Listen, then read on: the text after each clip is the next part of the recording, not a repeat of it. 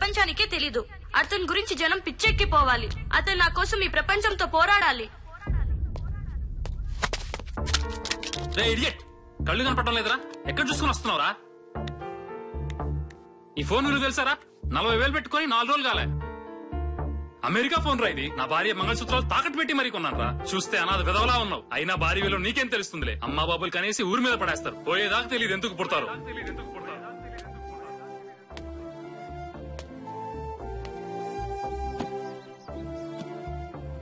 ఇంతేరా ఇంతే. ఈ దేశం ఇంతే మన బ్రతుకులు ఇంతే. ఇక మన జీవితాలు మారవురా. మొన్న సి అన్నాడు నిన్న సి ప్లస్ ప్లస్ అన్నాడు.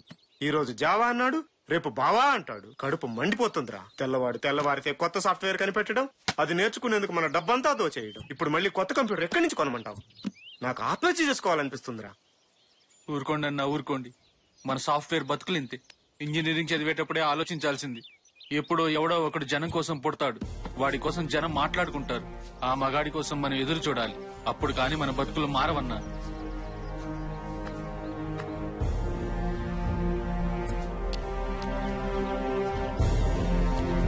తెల్లవాడు తెల్లవారితే కొత్త సాఫ్ట్వేర్ కనిపెట్టడం అది నేర్చుకునేందుకు మన డబ్బంతా దోచేయడం. ఇప్పుడు మళ్ళీ కొత్త కంప్యూటర్ ఎక్కడి నుంచి కొనమంటావు? ఆ? అన్నా మీరేంటి ఇక్కడ?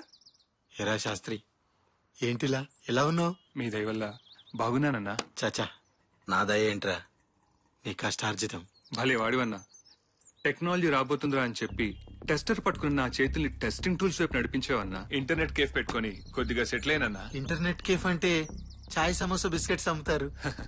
అన్నా అది ఇంటర్నెట్ కేఫ్. చాయ్ సమోసా కేఫ్ కాదు.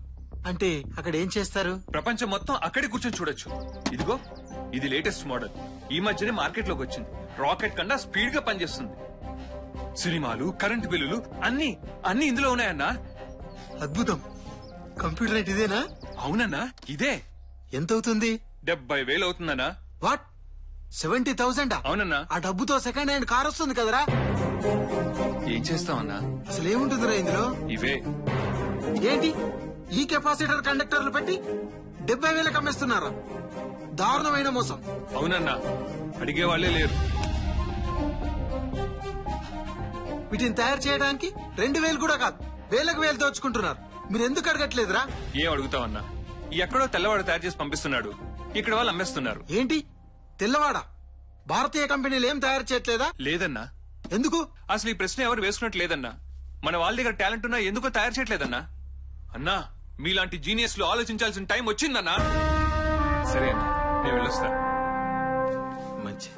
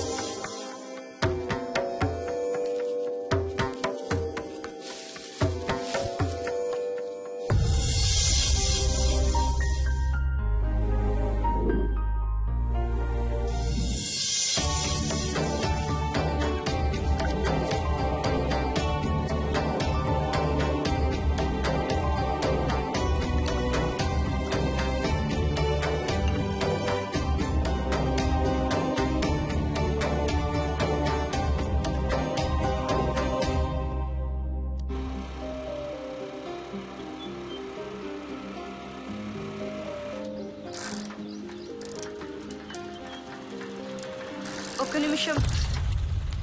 ఏం కావాలి? సంపు ఎక్కడున్నాడు? ఆ పేరు గుర్తుందా ఇంకా నీకు? ప్లీజ్ ఏదో పొరపాటున. పొరపాటు కాదు అలవాటు. భారతీయత సంస్కృతి అని చెప్పి అన్నను అవమానించావే? సాటి మనిషిని అవమానించటం ఆ భారతీయత? లేదా ప్రేమించిన వాడు మనసు తెలుసుకోకుండా బాధ పెట్టడం ఆ సంస్కృతి? అసలు అన్న గురించి నీకేం తెలుసని? అమ్మా నాన్న లేక రోడ్ల మీద తిరుగుతున్న మమ్మల్ని చేరదీసి పెంచాడు. ఎవరైనా అరిటాకులు పప్పు వేసుకుని తింటారు. కానీ మా ఆకలి చూడలేక ఆ అరిటాకుతోనే పప్పు ఉండి మా ఆకలి తెచ్చిన రోజులు చాలా ఉన్నాయి. తను టీలమ్మి మాకు టీకాలు వేయించాడు. ఆకలిస్తే అమ్మలా ఆదరించాడు. నకరాలిస్తే నాన్నలా మందలించాడు. అలాంటి మనిషినా నువ్వు అవమానించింది. నీకు వంద పర్సెంట్ మగాడు కావాలన్నావే. ఆ వందలో కూడా రెండు సున్నాలున్నాయి. అయినా అన్న వంద కాదు. One number one. మగాడికి మీనింగ్ డిక్షనరీలో రాయాల్సి వస్తే అక్కడ ఒక సంపూర్ణేష్ బాబు అన్న పదం తప్పితే సృష్టిలో ఇంకే పదం సరిపోదు. అన్న నీకు కనిపించడు. మర్చిపో. తప్పు చేశాను. నన్ను క్షమించమని నా సంపుని అడగాలి.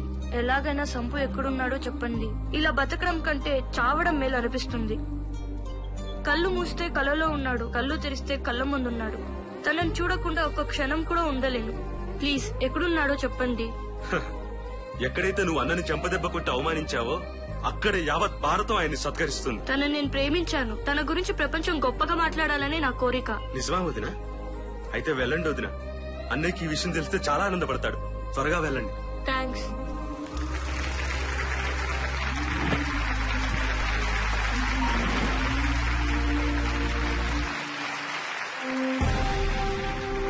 ఇప్పుడు కమిషనర్ గారు కంప్యూటర్ని ఆవిష్కరిస్తారు.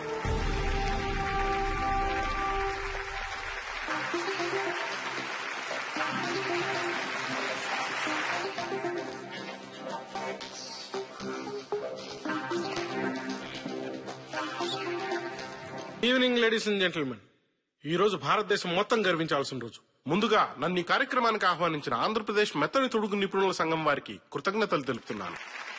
తెలుగు భాషకు తెగులు పుట్టిస్తున్న ఈ రోజుల్లో సాఫ్ట్వేర్కి మెత్తని తొడుగు అని నామకరణం చేసిన వాళ్ళని అభినందిస్తున్నాను. ఈ రోజు కారణభూతుడైనటువంటి సంపూర్ణేష్ బాబు గురించి చెప్పాలంటే ఏం చెప్పను? ఆయన గురించి మాట్లాడుతుంటే నా శరీరంలోని ప్రతి భాగం నిక్కబడుచుకుంటోంది. చిన్న అగ్గిపెట్టె మీద మేడ్ ఇన్ ఇండియా అని ఉంటే పక్కన పడేస్తున్నాం. అలాంటిది మన రాష్ట్రంలో ఒక చిన్న జిల్లా అంత లేని చైనా వస్తువుల కోసం ఎగబడుతున్నాం. ఆఫ్రికా నుంచి సబ్బులు బ్యాంకాక్ నుంచి పర్ఫ్యూమ్ తెల్లవాడికి బానిసలైపోతున్నాం. ముఖ్యంగా ఈ దేశ యువతకి ఖద్దరు తెలియదు గద్దరు తెలియదు ఎవరో వస్తారు ఏదో చేస్తారు అనుకున్న ప్రతిసారి ఎందుకోసం బతుకుతున్నామో తెలియక ఆకాశం కన్నీరు పెట్టిన ప్రతిసారి భూమి విరుచుకుపడిన ప్రతిసారి మనలోంచి ఒకడు పడతాడు. వాడు శాసిస్తే తలవంచడానికి సిద్ధంగా ఉంటారు. ఆయనే ఆయనే సంపూర్ణేష్ బాబు మీ మేధస్సుకు చేతులెత్తి పాదాభివందనాలు చేస్తున్నాను బాబు. మీరు కనిపెట్టిన కంప్యూటర్ని ఆన్ ద స్పాట్ నేను మూడుకుంటున్నా. ఒకరోజు సంపూర్ణేష్ బాబు గారు నా దగ్గరకు వచ్చి అరగంట మీతో మాట్లాడాలి అన్నారు. ఏదో జబ్బుతో బాధపడుతున్నారేమో అనుకున్నాను. కానీ ఆయన బ్యాక్టీరియా వైరస్ ఫంగస్ లాంటి విష జంతువుల గురించి ఎన్నో విషయాలు అడిగి మరీ తెలుసుకున్నారు. నేను ఓపిక ఉన్నంతసేపు సమాధానం చెప్పాను. ఏదైనా హాస్పిటల్ మొదలుపెట్టబోతున్నారా అని అడిగాను. దానికైనా కాదు. కంప్యూటర్ రంగాన్నే శాసించబోయే ఒక పరికరాన్ని కనిపెట్టబోతున్నాను అని చెప్పారు. ఆశ్చర్యం అనిపించింది జిల్లెడాకు బచ్చలాకు వంటివి వాడి హైబ్రిడ్ ఎలక్ట్రిసిటీతో ఒక కంప్యూటర్ ఎలా పనిచేస్తుందో ఆయన నాకు ఎక్స్ప్లెయిన్ చేసిన విధానం చూస్తే ఆయన మనిష మరమనిష అనిపించింది. ఈయన గనక మూడు వందలేళ్ళ క్రితం పుట్టుంటే తమలపాకుతో టైఫాయిడ్ని కరివేపాకుతో క్యాన్సర్ని నయం చేసుండేవాడని నేను బలంగా నమ్ముతాను. భవిష్యత్ తరాలకి దేవుడు గుడిలో ఉండొచ్చు ఉండకపోవచ్చు. గురువులు బడిలో ఉండొచ్చు ఉండకపోవచ్చు. పిల్లలు అమ్మ ఒడిలో ఉండొచ్చు ఉండకపోవచ్చు. కానీ సంపూర్ణేష్ బాబు మాత్రం మీ గుండెల్లో ఉంటాడు.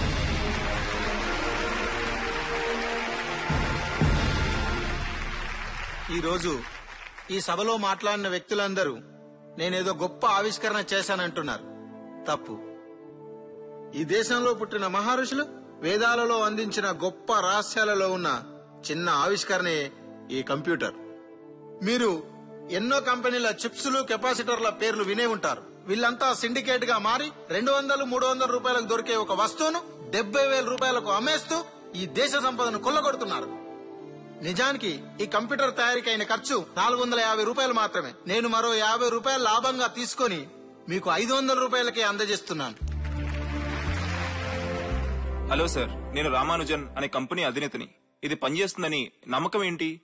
ఇంతకుముందు చాలా మంది ఇదే చెప్పారు కానీ రియాలిటీకి వచ్చేసరికి అవి సరిగ్గా పనిచేయట్లేదు. ఒకవేళ మీరు చెప్పేది నిజమైతే ఈ రోజు నేను లక్ష కంప్యూటర్లు కొంటాను. మీరు నాసిరకం కంప్యూటర్లు చూసి అభిప్రాయానికి వచ్చారు నిజానికి ఈ కంప్యూటర్ చూడండి. నిరంతరం స్వచ్ఛమైన నీరు ఫిల్టర్ వాటర్ ప్రవహించడం ద్వారా బ్యాక్టీరియా గాని వైరస్ గాని ఈ కంప్యూటర్కి వచ్చే అవకాశమే లేదు. జిల్లేడాకు మంత్రగుండాకు పసుపు ఈ కంప్యూటర్కు వాడడం వల్ల యాంటీవైరస్గా కూడా పనిచేస్తాయి. మీరు ఇచ్చిన ఆఫర్ నేను తిరస్కరిస్తున్నాను. మీలాంటి డబ్బున్న కోటీశ్వర్ల గురించి కాదు నేను తయారు చేసింది. పేద విద్యార్థులు ఈ తరం యువతరం గురించి తయారు చేశాను మీకు చదువు సరిగ్గా లేదు. బ్యాక్గ్రౌండ్ అంతంత మాత్రమే. మరి ఇంత గొప్ప ఆవిష్కరణ మీరు ఎలా చేయగలిగారు? ఒక బిల్ గేట్స్ ఒక అనిల్ అంబానీ ఎన్టీఆర్ చిరంజీవి. వీళ్ళంతా స్వయం కృషితో ఎదిగిన వాళ్ళు. టాలెంట్ ఉన్నవాడికి బ్యాక్గ్రౌండ్ అవసరం లేదు. బ్రెయిన్లో గ్రౌండ్ ఉంటే సరిపోతుంది. కష్టపడేవాడికి చదువు అక్కర్లేదు. సమాజాన్ని చదివితే సరిపోతుంది. బ్రతకడానికి కావాల్సింది అన్నం. అందం కాదు. ఇవన్నీ ఉన్నవాడికి ప్రజల ఆశీస్సులు ఎప్పుడూ ఉంటాయనడానికి నేనే ఉదాహరణ. మీరు ఈ కంప్యూటర్ తయారు చేయడానికి ఇన్స్పిరేషన్ ఎవరు?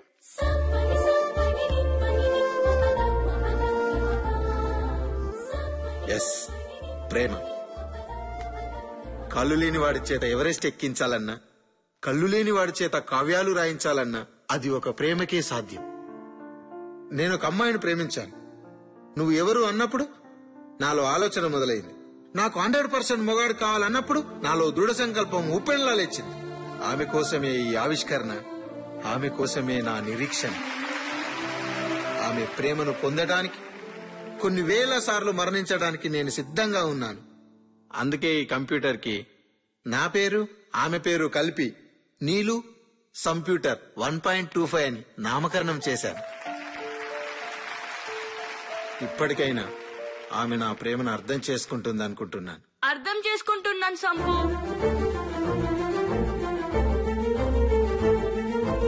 నేను నిన్ను ప్రేమిస్తున్నాను సంపు.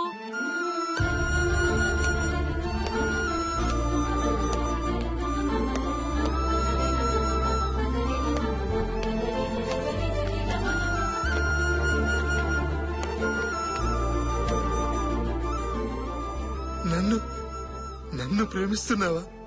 అవును. నేను చాలా అదృష్టవంతుణ్ణి. అదృష్టం నీది కాదు నాది. ఇప్పుడు హండ్రెడ్ పర్సెంట్ మొగాడిని అయినట్టేనా? ఉమ్.